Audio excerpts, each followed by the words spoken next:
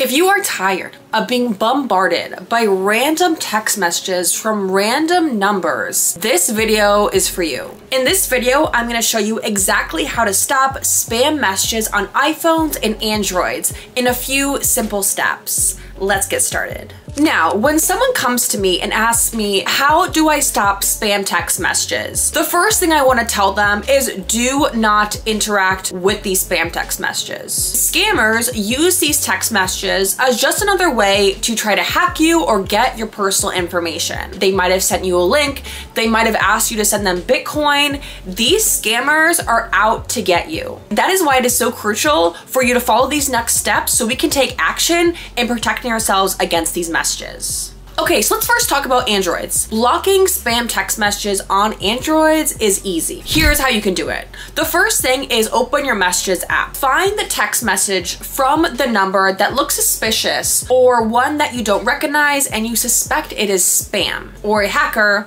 trying to lure you in. Tap the three dots in the top right corner of that text message.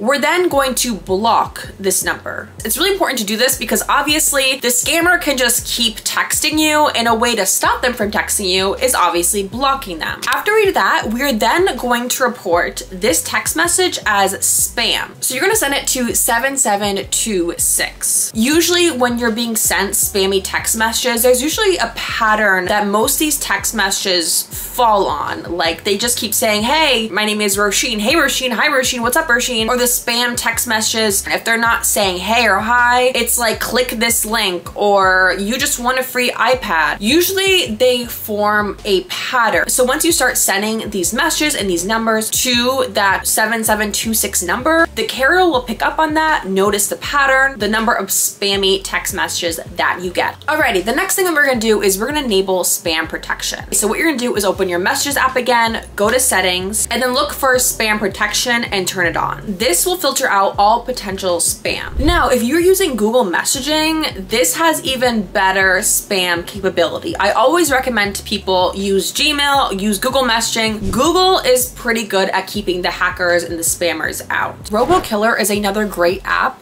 that Android users can install in order to help block spam text messages. So this app will basically help you on top of Android's protections to filter out these annoying spam spam messages that you're receiving. Another recommendation to prevent spam from happening in the first place is if you go on a website and they ask you to put in your number, put in a fake number. So by fake number, I mean like Google Voice. You can create free numbers from Google Voice that you can use to put in these text boxes that ask for your number. So a big reason that you are being scammed is that when you put your number into these text boxes, you know, when you sign up for websites or you sign up for surveys, personal information that you're putting in there is being scraped up by data brokers. So if you use a fake number, all those spammy, scammy text messages are going to be sent to that fake number that you provided, not your actual one. So that is just something I recommend in the future. Okay, let's move on to our iPhone users. Stopping spam on iPhones is pretty similar to what we just did on an Android. Okay, so go to your messages app, find that scammy, spammy text message. Tap the contacts little icon. Scroll down and tap info. Tap block this caller. We're then blocking any potential spam text messages from this phone number. For even more protection protection when it comes to filtering out spam on an iPhone, there is a setting called filter unknown messages. Go to your settings, then messages, and click on that button that says filter unknown senders.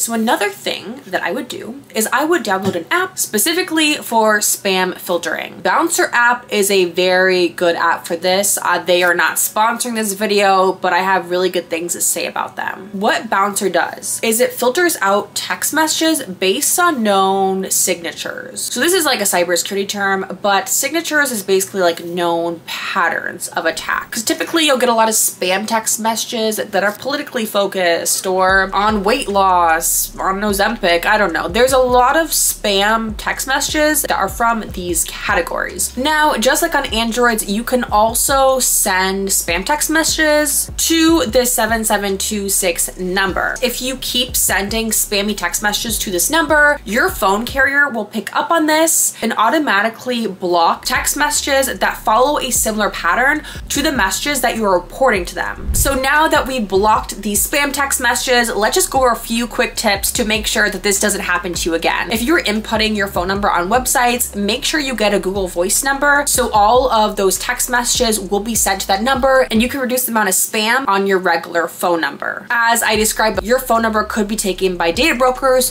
who then sell your information to scammers, spammers, and the like. Also, do not click on suspicious links. Clicking on these suspicious links will send you to a web page that is going to ask you for personal information or it could possibly download some nasty malware onto your device. Alrighty guys, that's it. And now you are equipped with how to stop and prevent spam text messages on Androids as well as on iPhones. If you found this video helpful, I would really appreciate if you gave it a thumbs up. And don't forget to subscribe for more cybersecurity and tech tips. If you have any questions or additional tips, make sure to leave them down in the comment section below. Alrighty guys, thanks for watching and I hope you stay safe.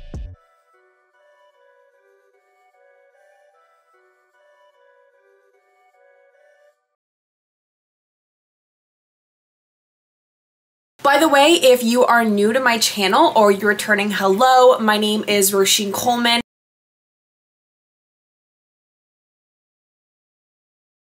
and I create tips and videos on how to safeguard yourself on social media, your mobile device, as well as general cybersecurity tips. So if you like this content, please make sure to like and subscribe. So on Google Messaging, if you go to your messages, you can also go to the settings and turn spam protection on from there.